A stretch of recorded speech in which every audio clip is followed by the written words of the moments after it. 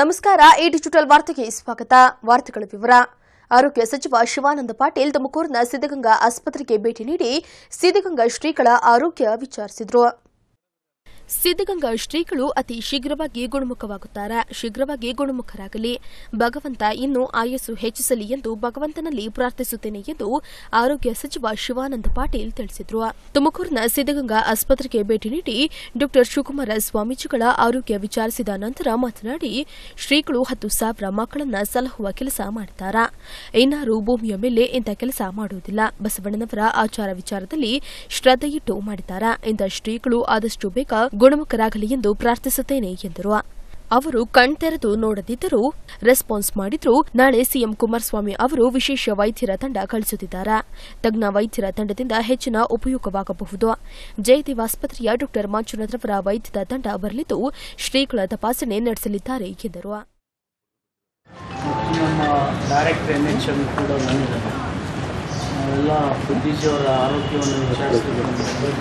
ಸುದಯದಿಂದ ಅವ್ರ ಆಸ್ಪತ್ರೆ ನೋಡಿದರೆ ಅವರು ಅತಿ ಶೀಘ್ರವಾಗಿ ಗುಣಮುಖರಾಗ್ತಾರೆ ಅಂತಕ್ಕಂಥ ಒಂದು ಆಶಾಭಾವನೆಯನ್ನು ನಾನು ವ್ಯಕ್ತ ಮಾಡ್ತಾ ಇದ್ದೀನಿ. ಜೊತೆಗೆ ಡಾಕ್ಟರ್ ಪರಮೇಶ್ ಅವರು ಅವರು ಒಂದು ತ್ಯಾಗ ಮನೋಭಾವದಿಂದ ಆಸ್ಪತ್ರೆ ಅಷ್ಟೇ ಅಲ್ಲ ಬುದ್ಧಿಜೀವರನ್ನು ಕೂಡ ಅವರು ಕಾಪಾಡಿರ್ತಕ್ಕಂಥ ಒಂದು ವ್ಯವಸ್ಥೆ ನೋಡಿದರೆ ತಾಯಿ ಒಬ್ಬ ಮಗುವಿನ ಕಾಪಾಡಿದಾಗೆ ಪ್ರಯತ್ನ ಅವರು ಮಾಡಿದ್ದಾರೆ. ಆದಷ್ಟು ಶೀಘ್ರವಾಗಿ ಬುದ್ಧಿಜಿಯವರು ಗುಣಮುಖರಾಗಲಿ ಅಂತೇಳಿ ನಾನು ಹಾರೈಸ್ತೀನಿ. ಭಗವಂತ ಇನ್ನೂ ಅವರ ಆಯುಷ್ಯವನ್ನು ಹೆಚ್ಚು ಮಾಡಿ ಅಂತೇಳಿ ನಾನು ಪ್ರಾರ್ಥನೆ ಮಾಡ್ತೀನಿ. ಜೊತೆಗೆ ಅವ್ರು ಮಾಡಿರ್ತಕ್ಕಂಥ ಕಾಯಕದ ಕೆಲಸ ಸಮಾಜ ಎಂದಿಗೂ ಕೂಡ ಮರೀಲಿಕ್ಕಾಗದೇ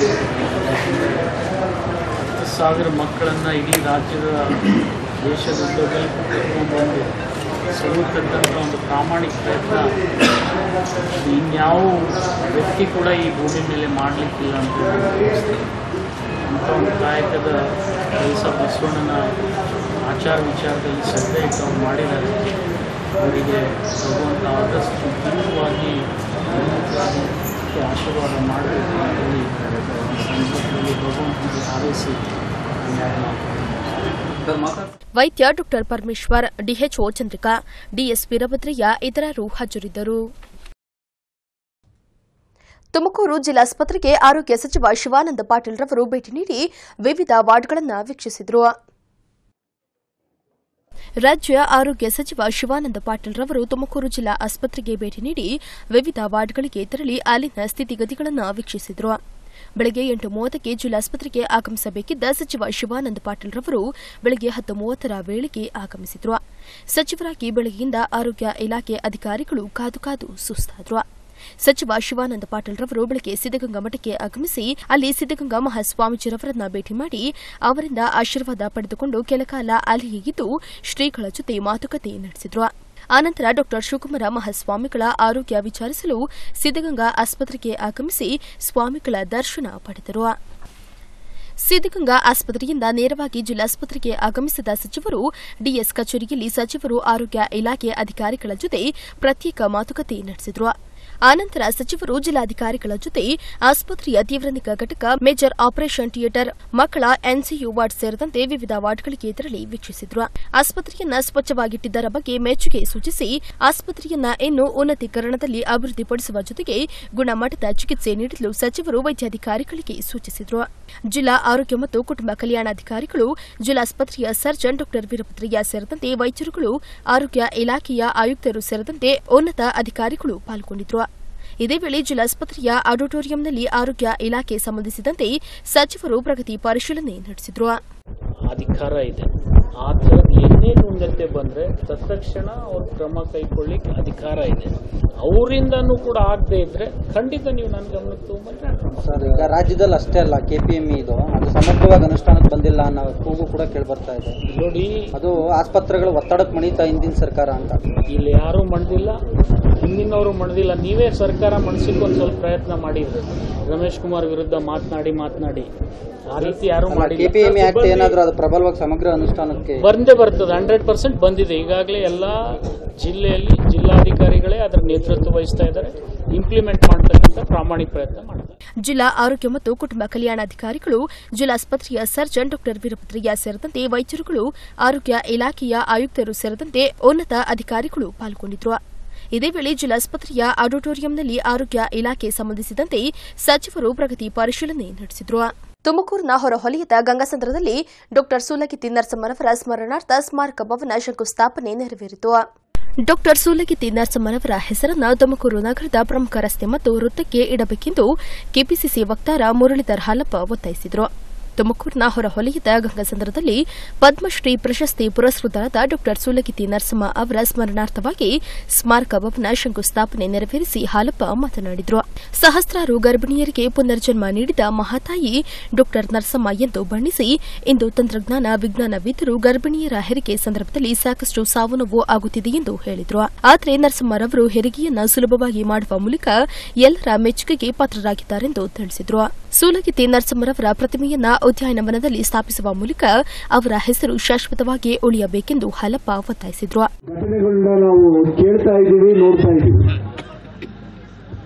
ಇಷ್ಟೊಂದು ಹೆರಿಗೆಗಳಲ್ಲಿ ಒಂದೇ ಒಂದು ಅವಘಡ ಆಗಿಲ್ಲ ಅಂತ ಹೇಳಿದ್ರೆ ಅದು ನರಸಿಂಹರವರ ದೈವ ಕೃಪೆನೋ ಅವರ ಹಸ್ತದ ಗುಣನೋ ಗೊತ್ತಿಲ್ಲ.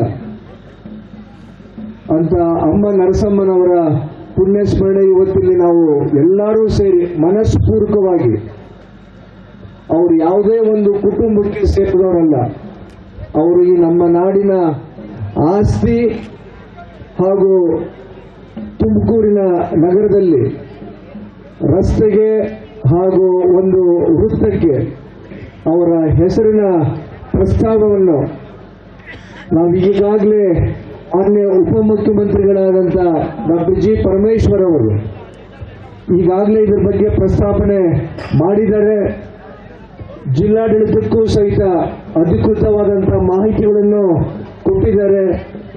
ನಮ್ಮೊಂದಿಗೆ ಇವತ್ತಿಲ್ಲಿ ಗೌರವಾನ್ವಿತ ನಗರಸಭಾ ಸದಸ್ಯರು ಇದ್ದಾರೆ. ನಿಮ್ಮ ಅವಗಾಹನೆಗೂ ಸಹಿತ ಈ ವಿಷಯ ತಿಳಿದಿರಲಿ.